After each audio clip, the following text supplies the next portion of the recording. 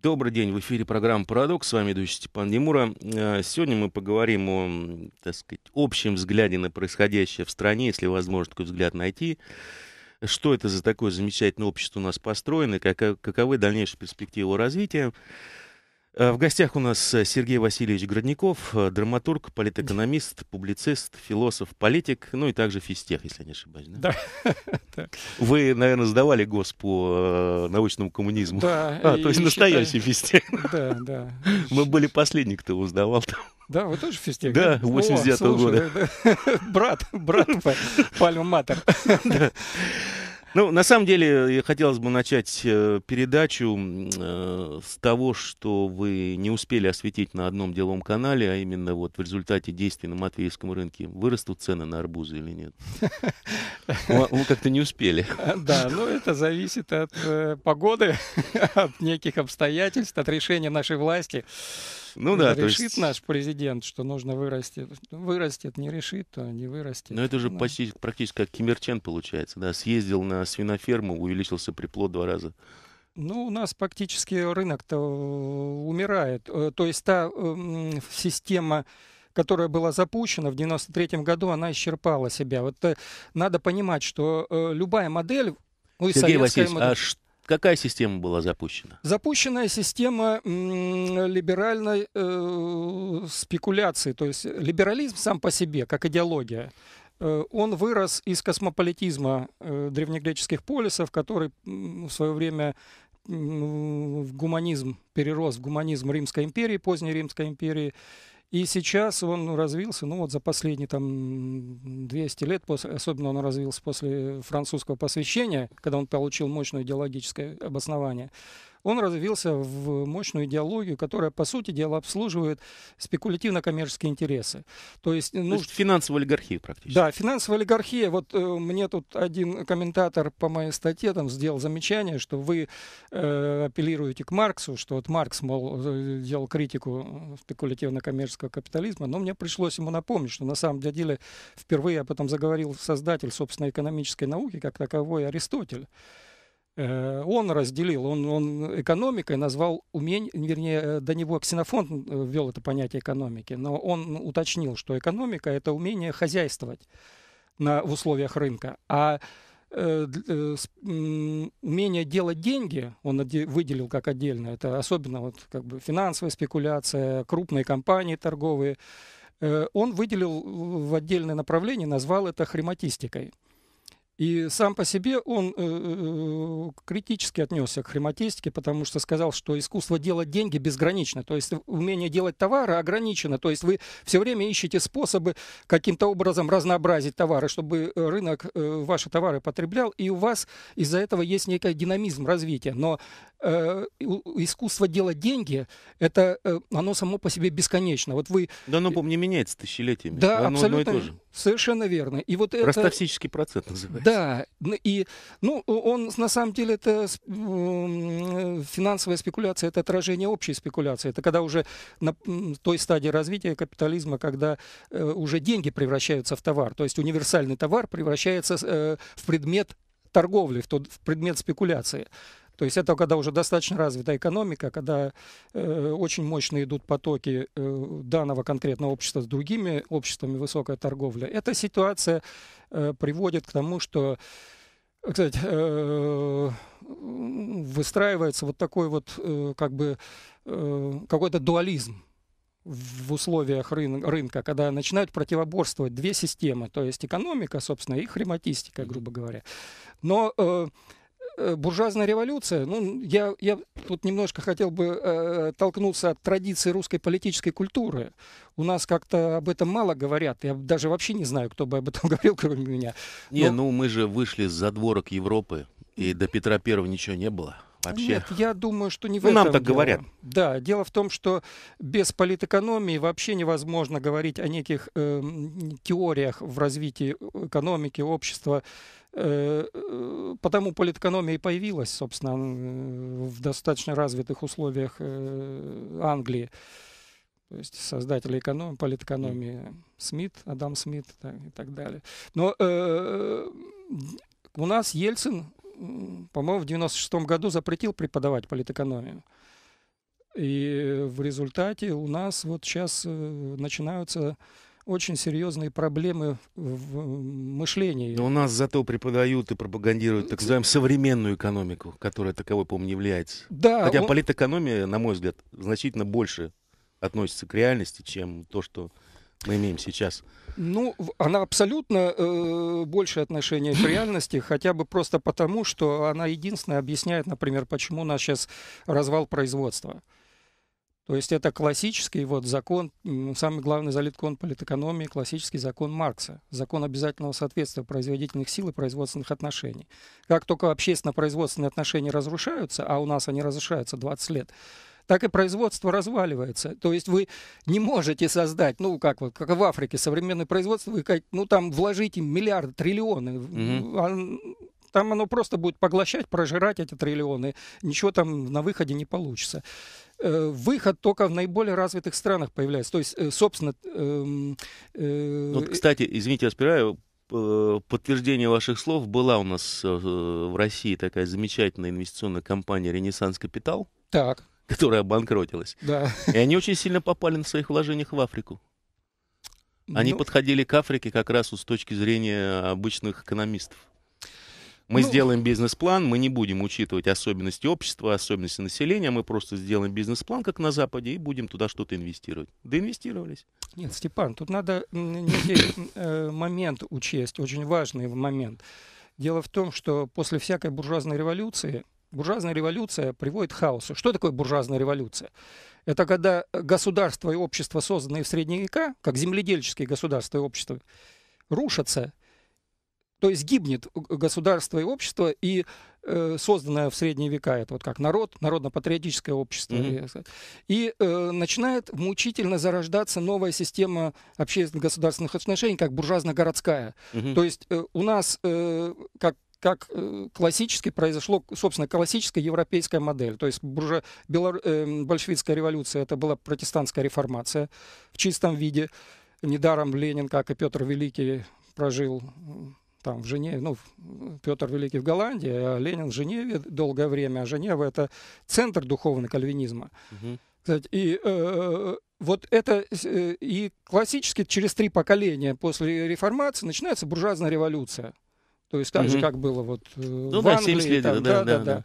Три поколения идет разрушение вот, сознания и э, старого. Постепенно возревает новое сознание, такое с э, городскими интересами, с рыночными интересами, с капиталистическими представлениями. И э, вот эта ситуация приводит к тому, что происходит буржуазная революция. Но когда она произошла, вот у нас она произошла в 1989 году.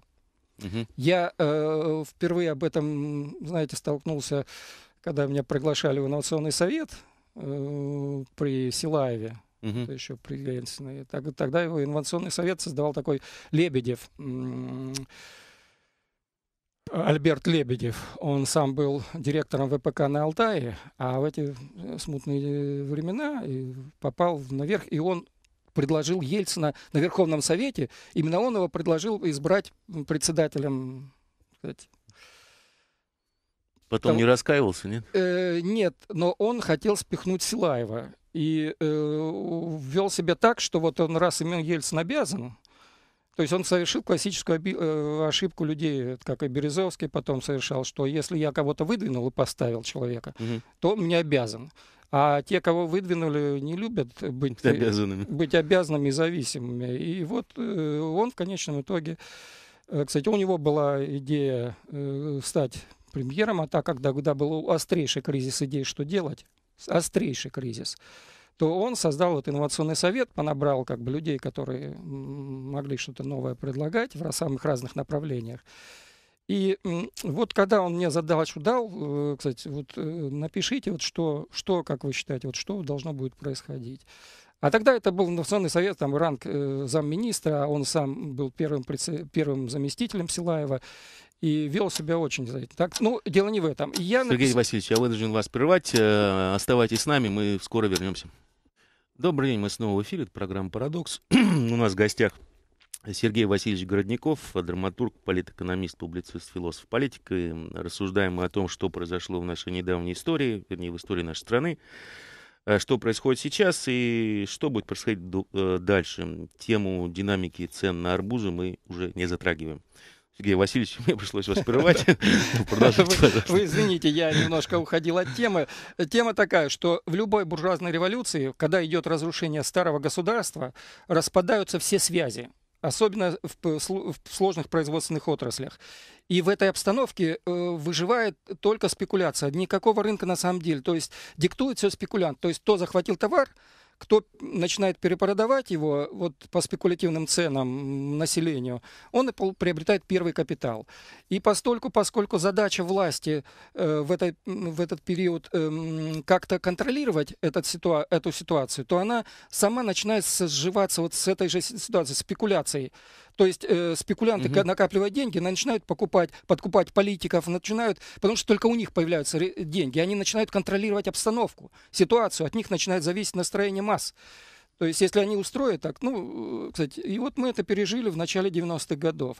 И выстраивается такая система, когда только те, кто э, э, занимаются спекуляцией, финансовой спекуляцией в том числе, э, начинают контролировать все Абсолютно все. И вот в 93 году, вот переворот э, наш в 93 году, этот знаменитый, да, вот 3 ноября. Бейтаровский, так называемый. Да, это было, на самом классическое установление диктатуры тех э, сил, которые э, создали капитал на спекулятивной mm-hmm. ростовщической основе.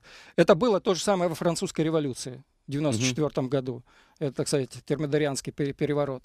Э, и э, установив свою диктатуру, они начинают переходить к э, превращению всей страны в товар, всего в товар. То есть, постольку они э, э, захватывают власть, угу. постольку они стремятся превратить свои интересы в господствующие. И э, в этом э, ключе очень им по подошел Гайдар с его идеями либерального рынка, либеральных реформ, революционных по своей сути, которые э, запустили э, как бы обоснование вот идеологическое угу. и политическое обоснование э, господства вот этих вот э, интересов. И эти интересы э, кстати, переживают несколько моментов. Сначала идет просто разворовывание, главным образом финансов, ну того, что легко лежит. Это разворовывание приводит к колоссальному кризису, вот оно, дефолт 98 -го года. После этого дефолта приходит, начинается резкая модернизация власти, связанная с тем, что для того, чтобы выжить этим вот силам, вот олигархам, им нужно установить жесткий контроль над страной. То есть они начинают э, поощрять выстраивание чиновно-полицейской э, диктатуры, то есть некого вот аппарата управления колоссального, который им позволит решать их задачи. Э, э, ну, в частности, они начали... Сохранение власти и собственной жизни. Да, собственной жизни и своих интересов. Главное у них это собственность. Собственно, это когда выдвигал, э, выдвигали, так сказать, Степашина, потом Путина, угу. Березовский, он четко это сформулировал что нам сейчас не нужна идеология больше, нам не нужен идеолог, идеолог во власти, нам нужен человек, который сохранит наши интересы. Угу. То есть вот э, тех семи олигархов, семи Баркинщины. И э, они начинают вкладывать, вот люди, которые в наибольшей мере наворовали финансов, э, они начинают их вкладывать э, в превращение уже, ну, скупку всего, что есть в стране, и превращение его в товар для того, чтобы уже э, вывозить уже товар, уже не, не деньги захватывать, а вывозить этот товар там за рубеж или еще куда-то. И на этом э, на этой спекуляции товарами, э, в том числе акциями, э, уже дальнейшее увеличивать свои капиталы, угу. свои состояния. Но в этой ситуации начинается нарастание конфликта бюрократии, которая как бы защищает их и создает аппарат для защиты их интересов. И ими то есть бюрократия, приобретая силовые э, средства, угу, она угу. начинает их оттеснять. И вот эта борьба под Путина... Ну, вот Ходорковский, например. Да, абсолютно верно. Это абсолютно во всех... Он систему буржуазных... породил, она его погубила. Совершенно верно. И Березовский то же да. самое. Все вот, кто создавали сначала систему, они все попали под ее нож. И, ну, ну Дерипаска остался. Да, да, да. Ну, те, кто э, быстренько приняли правила игры, угу. подстроились под это господство бюрократии. И, э, и э, в, в конечном итоге бюрократия, ну, вы знаете, когда деньги начинают превращаться в основной вид власти, когда нет ни диалоги, ничего, то любой руководитель страны, любой, кто бы он ни был, каким бы он был честным, ни был, он стремится создать такую ситуацию, чтобы его друзья приобрели наибольшую собственность. Наибольшее влияние, поскольку тем деньги самым, это власть. Да, да, тем более обеспечивали его поддержку для того, чтобы, кстати, и когда объявляют, что вот Путин там созвал этих друзей, все они превратились в мультимиллионеров, и Запад орет, и об этом и наша оппозиция. Ну, просто естественный исторический процесс. Это абсолютно объективный исторический процесс, его нельзя перепрыгнуть. Это, кстати, и но эта система, как только исчерпались ресурсы для э, захвата и превращения в товар, спекулятивный товар, угу. она прекращает работать. Вот э, э, начинается кризис, она не может перейти, она и хотела бы перейти к развитию производства, но сама система создается э, такая, что... Она э, направлена просто вот на утилизацию страны. Да, да, на того, что было э, в прошлом сделано, угу. прошлыми поколениями, угу. она превращает это просто, вот, как вы правильно сказали, в утилизацию. И э, остановиться не может, потому что э, со, целые слои людей отбирались. Вот э, не случайно... Принцип отрицательного отбора. Да, и не случайно, абсолютно не случайно у нас такое колоссальное количество во власти юристов и экономистов, которые получали вот в это время как бы экономическое образование.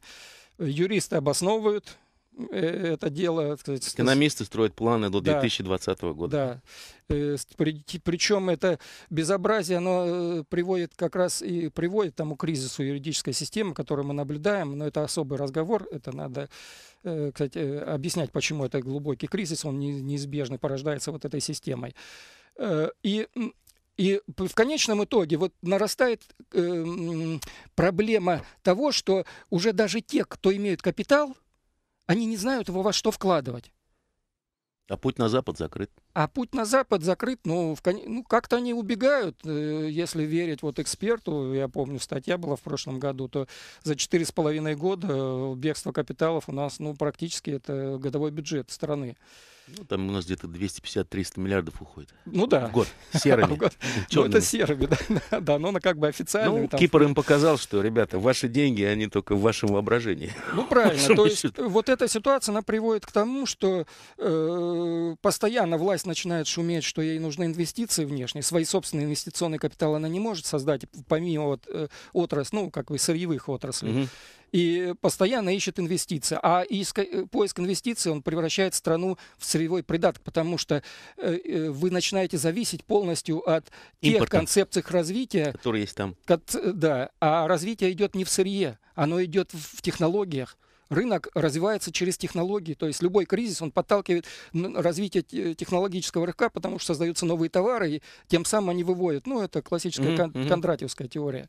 Э, кстати, и вот эта вот э, ситуация приводит к тому, что э, сырьевая модель чем более она сырьевая, тем она больше погружается в тяжелейший э, э, внутренний кризис. И мы наблюдали этот кризис особенно ярко в Соединенных Штатах. Я почему это говорю о Соединенных Штатах? Люблю этот пример, потому что наши вот патриоты, они любят Европу приводить в пример, там, Веймарскую республику. Я тоже ее, кстати, э, изучал. Но я считаю, что из-за того, что у нас вот сырьевая олигархия сложилась, очень мощная, очень влиятельная и, по сути дела, господствующая. У нас Собянин, это сырой олигарх, который вытеснили этих строительных олигархов, mm-hmm. который представлял у нас, сказать, то есть окончательно они захватили страну, кстати, вот сырьевая олигархия. Она э, в наибольшей мере, вот похоже, что у нас происходило в Соединенных Штатах э, до гражданской войны. Собственно, mm-hmm. э, перед гражданской войной, там 40 лет после изобретения челнока, вот этот, который предельного mm, челнока, 40 лет э, выходцы из э, южных штатов сырьевых господствовали в политике. Демократ, демократическая партия, э, практически все были выходцы, почти все, там, по-моему, два года э, был представитель севера. А так 40 лет господствовали выразители вот этих плантаторских и тесно связанных с ними банков Нью-Йорка. То есть вот эта вот мощная олигархия. Mm-hmm. А э, э, после того, как э, хлопок э, изобретение станка, оно потолкнуло подчеркнула переход от домотканой одежды к ситцевой. Угу. И вся Европа стала переходить на ситцы. И хлопок превратился в самый дорогой товар. Вот сейчас сырьевой товар, mm-hmm. у нас сейчас нефть, а тогда хлопок, mm-hmm. он до начала 2000-х, да, да. 20 века был самым дорогим сырьевым товаром. Э, э, кстати, до появления 19 века. Э, до конца 19-го, до начала 20 до появления автомобилей, Мгм. собственно, которые привели к ро- спросу на нефть такому колоссальному. ДВС, двигатель внутреннего сгорания. Да, да. А до этого хлопок. И э, вы же помните, как у нас э, Челкаш там, вы же помните, который за- занимался контрабандой хлопком, тогда, так сказать, самое дорогое было сырье, и можно было получать наибольшую прибыль через контрабанду. Кстати, вот э, эта ситуация, она привела к тому, что в Америке с одной, сложились самые благоприятные условия в, Со- вот, э, в Соединенных Штатах для выращивания хлопка. То есть, с одной, в отличие, допустим, от Индии, Индия густонаселенная была, а в Соединенных Штатах огромные пространства, в южных э, штатах Климат, все на свете. климат, да, и огромные пространства, слабо заселенные племенами. И вот их начали выгонять, вытеснять вот с этих пространств и пространства южных штатов, переводить, э, кстати, на хлопок. И из-за этого, собственно, вся политика захвата была, движение на, кстати, у них Дикий Запад шла из-за этого. И э, но когда в мире в 1957 году разразился, в 1857 году разразился кризис, очень мощный, э, кстати, и спрос на хлопок резко упал, то в Соединенных Штатах э, начались внутренние политические пертурбации, в результате которых по- победила партия республиканцев неожиданно совершенно, вот Линкольна, то есть это э, националистическая партия англосаксов, то есть англосаксонские северо-восточные Мгм. штаты, они жили за счет развития производства. За счет того, что Мгм. импортировали из Англии э, оборудование, там пытались развить, там основная иммиграция шла. Интенсивный путь развития Да, был, интенсивный, который- Экономический именно, Да, а который- не спекуляция товаром. Потому что в Англии уже произошла к Да. тому времени промышленная революция. Первая страна, которая пережила промышленную революцию, и постила на, э, кстати, индустриальные Мгм, рельсы, перевела производство. И вот носители этой культуры инду- и идеологии, философии ин- индустриальной революции, они в основном селились в северо-восточных штатах Новой Англии. И вот они создали эту партию, которая э, была недовольна той политикой господства сырьевой олигархии, и победили, но сырьевая олигархия не захотела признать. Она пошла даже на то, чтобы расколоть страну. То есть вот мы, я в ч- э, не удивился бы, если бы вот у нас, если, а у нас все к этому же идет, к такому же развитию событий, я думаю. И э, э, Ну, сырьевая- я вас прер- прерву, потому что был, э, по-моему, месяц назад оп- опрос в ЦОМа, и э, задавали респондентам один э, вопрос, считают ли они, что в, сла- в стране сложилась революционная ситуация. Причем было дано определение революционной ситуации. Так, Э, Мы вернемся после небольшой паузы. Добрый день, мы снова в эфире. В гостях у нас Сергей Васильевич э, Городников, э, драматург, политэкономист, публицист, философ, политик, также физтех. И говорим мы, обсуждаем, вернее, откуда и как появилась ситуация в стране, которая сейчас э, существует, э, как она будет развиваться и что будет дальше, чего ожидать. Э, Так вот, был проведен опрос, и был задан вопрос, считают ли респонденты, что в стране сложилась революционная ситуация. Причем было дано определение революционной ситуации, именно импотентные проститутки. Верхи не могут, низы не хотят. 57% респондентов ответили положительно. То есть это уже наводит на некоторые мысли. Если заменить хлопок нефтью, то, в общем-то, как-то становится э, не то, что страшно, а появляется некоторая надежда на светлое будущее. э, Потому что я вот, если Да. вы не знаете, я вашу цитату за- зачитаю, да? А Это вы давали, по-моему, интервью «Эхо Москвы», прошу прощения, «Эхо- «Эхо Москвы». Никакого процветающего капитализма они не смогут построить, потому что никогда не смогут понять роль и значение общественного сознания для современного капитализма, для свобод товарно-денежного обмена. Единственные безусловные способности, которые они проявят в конечном итоге, будут способности к асоциальному индивидуализму, то есть э, социопатии, ну, это я перевожу на язык Петерима Сорокина. Да, да, есть я, да. да, Социопатии, следствием чего станет, станут тяга к воровству, казнократству, взяточеству, связям с бандитами, склонность к ростовщичеству и всяческому мародерству. А больше того, даже и экономические и хозяйственные формы в нем не пойдут по пути развития рыночных производительных сил, требующих общественных социально ответственных отношений.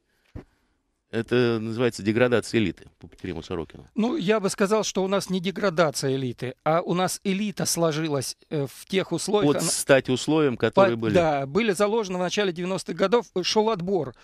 То есть последний человек, который защищал интересы э, производства, на мой, как я помню, был э, Каданников, то есть э, директор ВАЗа, когда его сделали министром не на, на короткий срок у, у Примакова. Последний был представитель промышленности, который был у нас в правительстве. После этого у нас только... Э, Экономисты и юристы. Юристы и олигархи. Причем да. питерского разлива. Ну, это даже не важно питерского, а те, кто обслуживает олигархию. У нас питерская верхушка... Э, Питер вылез на том, что они э, вовремя сели на посредничество в торговле нефтью. Угу. То есть через их порты пошли, пошла нефть, и вот все вот Путин, вся вот эта вот э, структура, они вышли, поднялись на нефть. У нас вся сейчас верхушка так или иначе вышла вот через обслуживание э, нефти. То есть вовремя. Нефть тогда была дешевая и, в общем, казалось не очень... Кстати, перспективной. А, да, перспективно, но в конечном итоге казалось, что она единственный у нас источник получения валюты. И получая, естественно, кто контролирует э, источник получения mm-hmm. валюты, он де- только и может держать ситуацию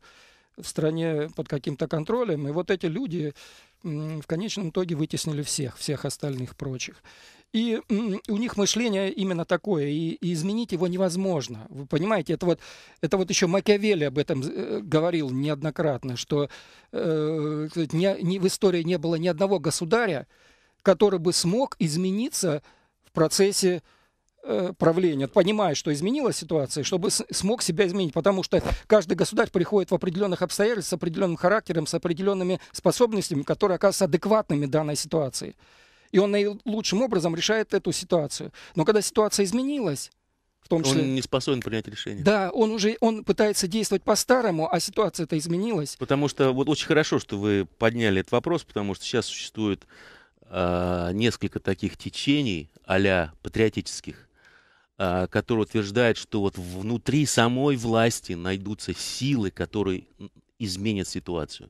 А ответа простой. Не найдутся. Их там нет и быть не может. Вы знаете, э, вот когда вы Я говорили прав? о революционной ситуации, то Ленин, когда он сформулировал, он э, на самом деле из нескольких пунктов. И пункт э, «Верхи не могут» — это был, по-моему, третий или четвертый пункт. Первый пункт Ленин сказал, что когда внутри господствующего класса начинаются конфликты о том, как развиваться дальше.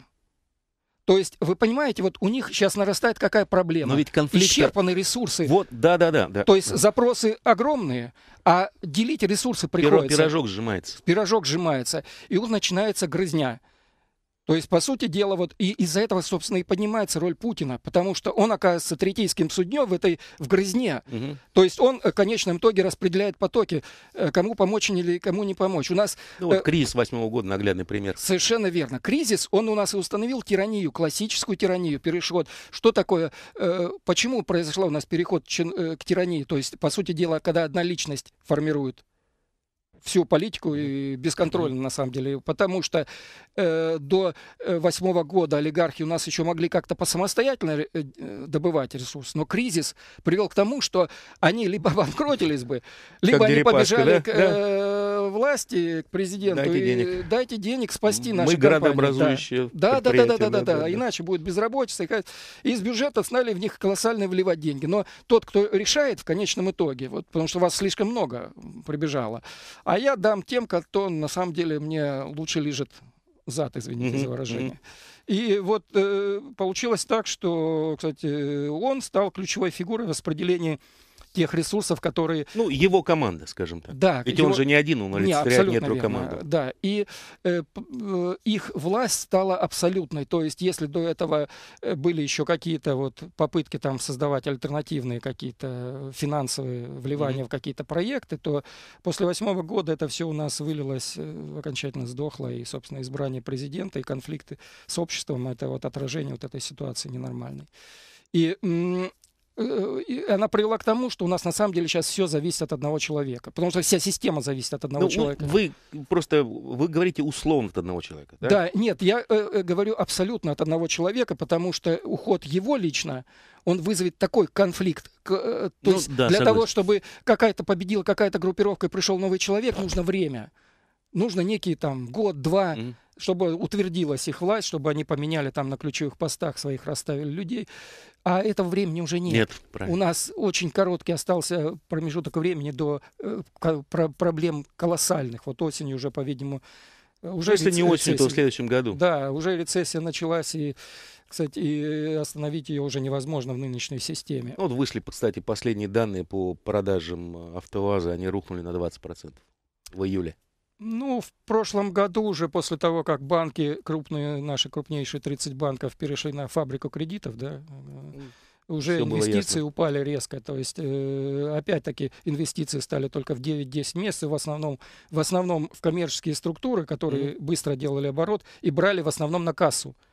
То есть вот у них в кассе сейчас нет, надо быстро взять. И структуры, которые в основном связаны с бюджетом. Да. С распилом бюджета, Да, скажем да. так, да. Ну, и вот упало, по-моему, до 16% инвестиций. И в основном Да. это банки государственные только, то есть по приказу правительства вкладывать стали.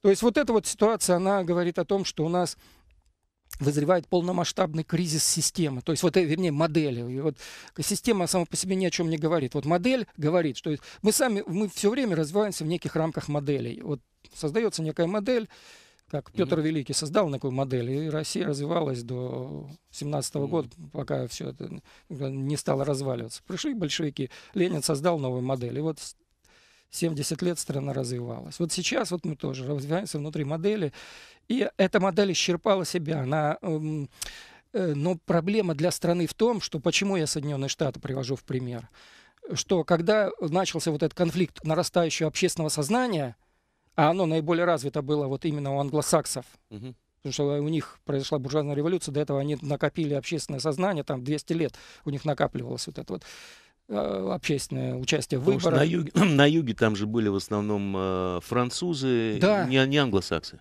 Нет, нет, там ирландцы, Ирландцы, французы, французы, да. кстати, э, и вот эта вот ситуация, ну, а, северо-восточные штаты Новой Англии, так она называется, Новая Англия.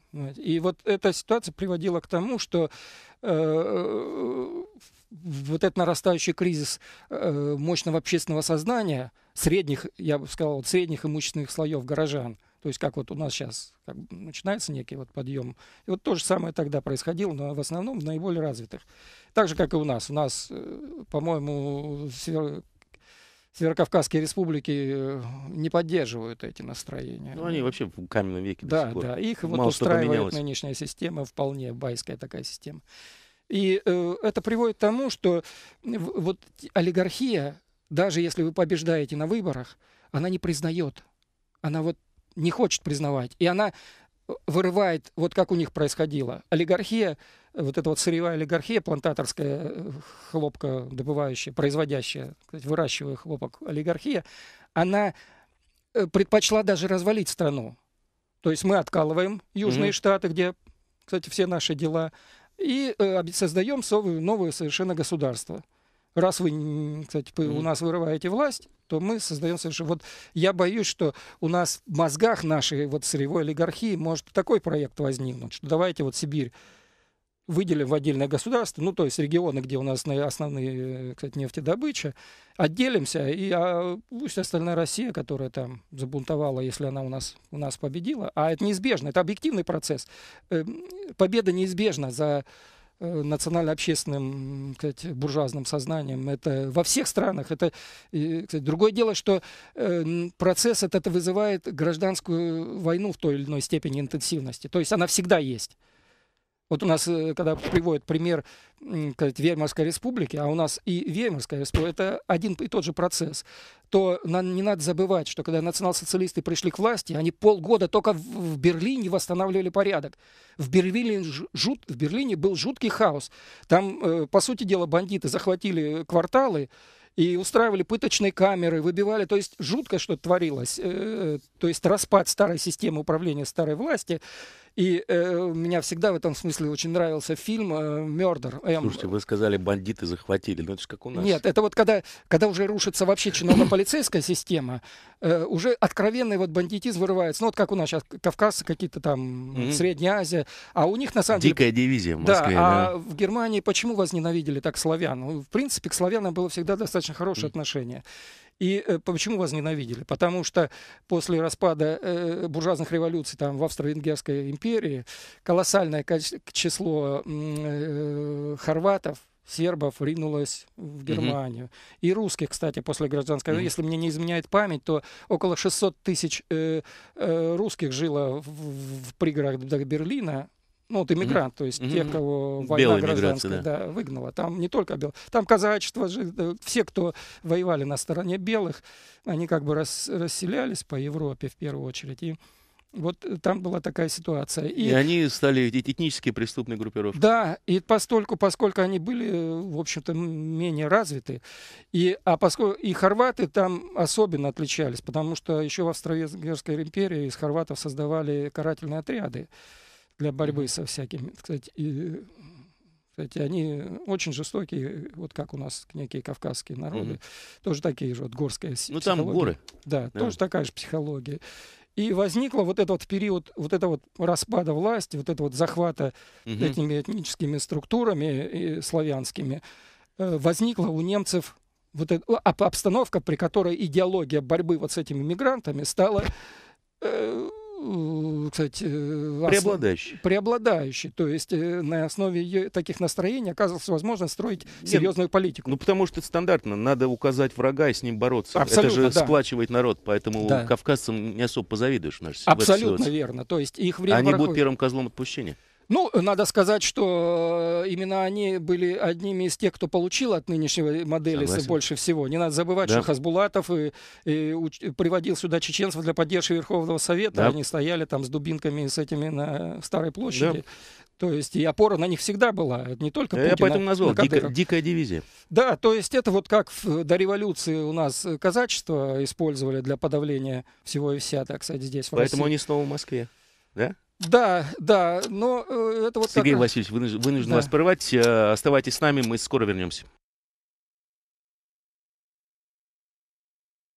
Городников, драматург, политэкономист, публицист. Э, и рассуждаем мы, смотрим, пытаемся, вернее, взглянуть на то, что происходило, происходит и будет происходить в России с точки зрения такого возвышенного анализа, непредвзятого, и с точки зрения исторических перспектив.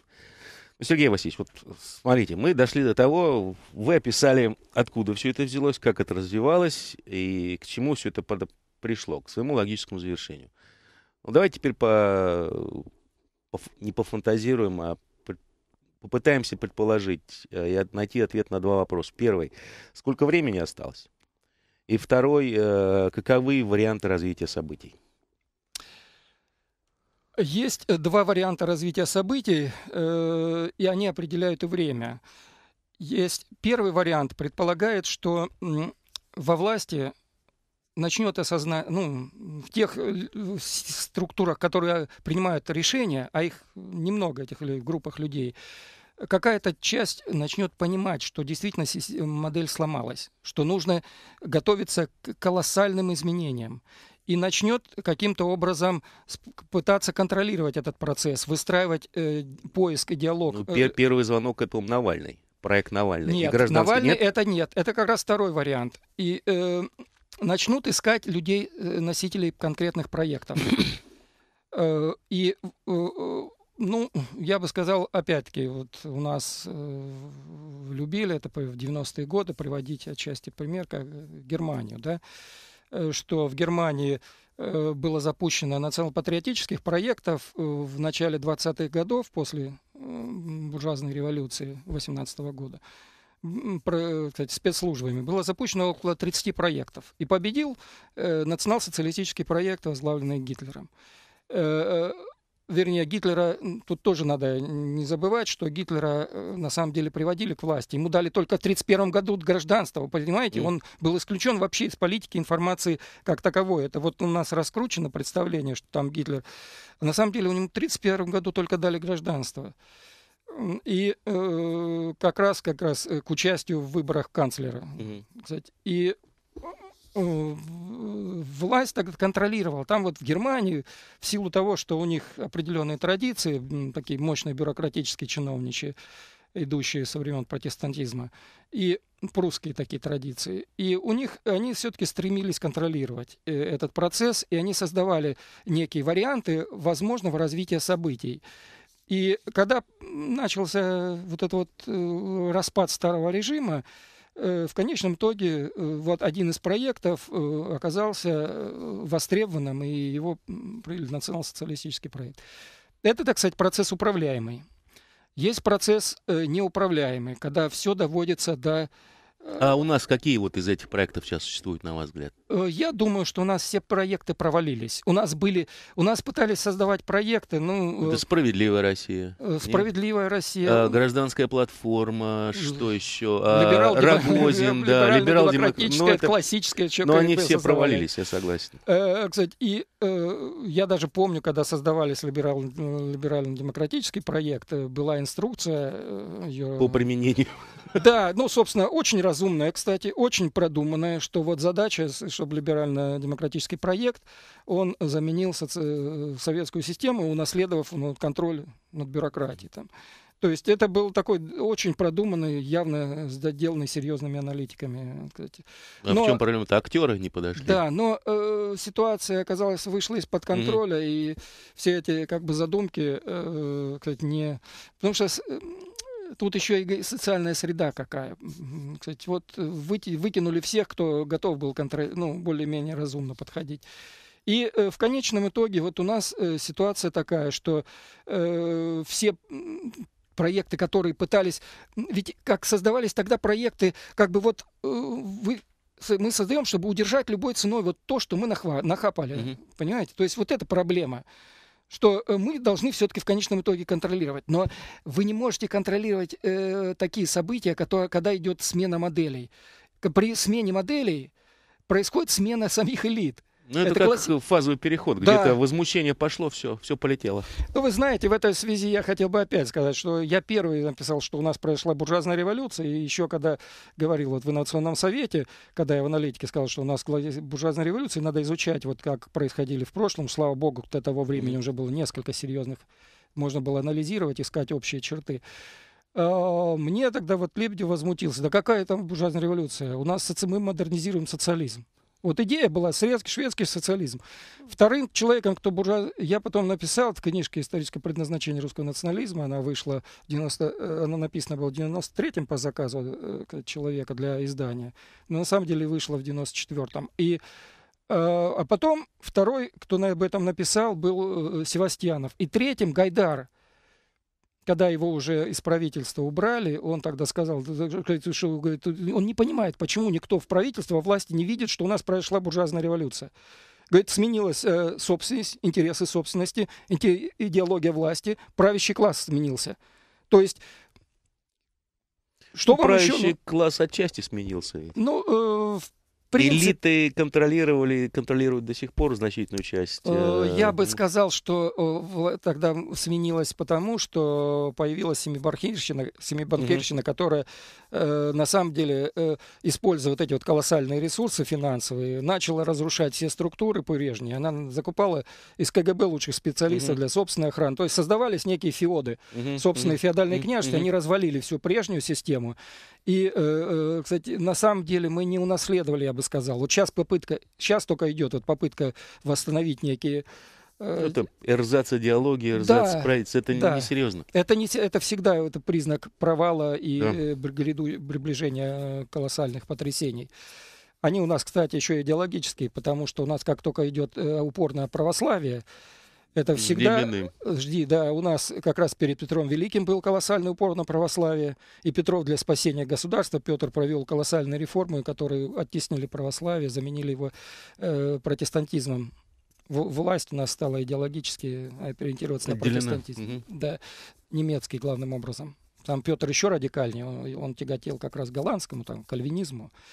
А у нас э, вот, в силу определенных обстоятельств элита только признала только либи, э, такое лютеранство. И, э, кстати, э, отчасти у нас и цари были конта- главными контролерами этого процесса, потому да, что у нас все из лютеранских стран брали невесты, э, с поколения это шел процесс. И и, и вторая ситуация, у нас подъем стал православие, черносотенство накануне 17 года. 17 года. А черносотенство, ну, я еще раз не накнат, оно спасло царское, в пятом году спасло э, режим царский, mm. а, но тем не менее сам царский режим ужаснулся вот этой растущей зависимости от таких сил. И в конечном итоге это все привело к 17 году, появлению нового идеологического проекта, как э, отрицающего. Вот мы сейчас на пороге того же процесса идем. Вот это растущее влияние православия, Потому что православие это земледельческое э, мировоззрение, земледельческое, это, это земледельческая цивилизация. Ну, это религия рабов. Они не, Даже не, не, не зря нет, говорят, не рабов, что рабы это, Божьи. Это, э, У ну, нас просто осталось э, да. пять минут. И а поэтому второй, и втор, путь. второй путь это когда действительно появляются у нас Керенский. Вот Навальный это скорее Керенский. То есть Навальный это не, вы не считаете, что это проект той же самой власти? Нет, я абсолютно не считаю. Страхование на флангах. Абсолютно нет? не. Понимаете, для проекта нужна программа а для страхования. А э, Навальный, он не человек программы. Он даже не то, что нет, он ее не способен даже э, такое слово программа произнести как и большинство наших оппозиционеров, понимаете? Да, для спасения нужна программа. Вот что вы делаете, что нужно, вот, по, какие нужно запустить механизмы для того, чтобы начался процесс. А Навальный, он лишь как бы... Разрушитель. Одну, он как бы одну часть элиты готов оттеснить, но в силу того, что его поддерживают те же самые олигархи, да. кстати, э, они, он выну... отсутствие программ приведет к тому, что он вынужден брать советников, и, кстати, помощников из, из, да? и, и тех, которые ему будут эти люди давать. Угу. И в конечном итоге это просто будет смена одного клана на другой. Да, да. В сущности. Это второй вариант. Второй вариант. Но смена одного клана на другой. Ну хорошо, но поменяли кланы. А что поменяется в экономике? А дело в том, что второй клан не успеет прийти, да. так же как Керенский. Понимаете, при его, даже с бандопартийскими замашками, он не смог уже удержать, потому что нужно решать проблемы хотя бы просто накормить людей, грубо, да. грубо говоря. Кстати, э, э, это вы играете пока в свои игры, вот заговоры да. там и так далее. Вы еще можете позволить мыслить, что вы не плюете на остальное Это население. пока нефть высокая, как говорится. Да, да. Но когда э, начинаются у вас э, такие вот переходные проблемы распад всяких структур э, обеспечения жизнедеятельности страны, так или иначе. Mm-hmm. Начинается бардак в транспорте, начинается бардак с ценами на продовольствие и так далее, и так далее. Н- население перестает верить власти. И уже э, в этой обстановке может э, э, появляться некие проекты, которые... Пролететь что-то, говорит, с левого поля. Нет, ну, грубо говоря... У левого как... условно. Ну, Это говоря, в грубо говоря, вот, говоря ну, да. для того, чтобы старое здание сломать, нужно, чтобы пришел бульдозер, его сломал, да? А потом приходит архитектор, становится востребованным архитектором, угу. и надо создавать новое здание. Вот здесь вот Навальный тот же бульдозер, который, э, кстати, должен вот э, старое здание, вот ну, в данном случае даже ну, не старое говоря, здание, а старую власть. Получается, что те элиты, которые, которых представляет Навальный, они просто ослабят систему еще дальше да. и просто не успеют ничего сделать. Абсолютно верно. У них не будет времени для того, чтобы выстроить новую ну, систему. Ну, плюс они еще и не способны выстраивать. И абсолютно верно. Еще и они не способны. Они и, не способны к созиданию, в принципе. И в этом, и в в этой ситуации у нас все будет зависеть уже от субъективного фактора. То есть, как говорил этот еще и Маркс, любил Ленин повторять, что любая революция, на самом деле, хаос, он может продолжаться бесконечно. Он перерастает в революцию, когда появляется субъективный проект субъективная идеологическая политическая сила, то есть группа а людей, которые... Какая сила может стать такой? А, а мы сейчас, э, я бы сейчас не стал на эту тему разговаривать, потому что на самом деле э, здесь э, этой силой может стать буквально небольшая группа людей. Потому вот если вы помните такое замечательное высказывание Милюкова, он в 20-е годы в эмиграции написал в воспоминаниях, в мемуарах, что в 17 феврале 17 -го года большевиков никто всерьез не воспринимал, а, потому да. что всех большевиков можно было усадить на одном диване. Да. Понимаете, вот и, но это люди абсолютно не понимающие, что... Но у большевиков, извините меня, тоже было мощнейшее финансирование и со, со стороны США. На чьи деньги они все это делали? Ну, вы знаете, вот я, вот это, меня это всегда э, умиляло, вот это вот заявление, что немецкий генштаб Не, не немецкий, фи, э, в США ну, Даже США, но меня это всегда умиляло те, тем, что, ну хорошо, вот приходит Ленин к власти, да, и, и говорит, а пошли вы все нафиг. Я все, я у власти, это революционная власть, и пошли все, я ну, отказываюсь от всех обязательств. И все, и Нет, все. А, а, видите, их, их интересы в России постраховывали морские пехотинцы. Ну, вы знаете, их, их тоже выгнали, э, этих морских пехотинцев, потому что... После того, как все устоялось. Потому что любой э, сильный человек, он не хочет ни с кем делить власть. И сильные э, люди, возникающие в такие пертурбации, это очень сильные характеры, как правило. И Ленин всех переиграл. Я считаю, он гениально сыграл. То есть он всех обманул, и установил в конечном итоге, выстроил тот режим, который он считал нужным, то есть проект, который он еще разработал в начале 20 века. Все его, весь его проект был разработан еще до, до пятого года. Ну да. да. Э, и вы считаете, что его тельце лежит в мавзолее? Ну, Или, может быть, там другой тельце лежит? Нет, я считаю, что Ленин гениальный человек, великий человек. Он, он такой же сыграл роль, как Павел. Сергей Васильевич, было Павел очень интересно. Огромное спасибо вам за передачу. К сожалению, время передачи подошло к концу. У нас в гостях был Сергей Васильевич э, Городников, э, драматург, политэкономист, публицист, философ и политик. Программу вел Степан Немура. Удачи вам всем.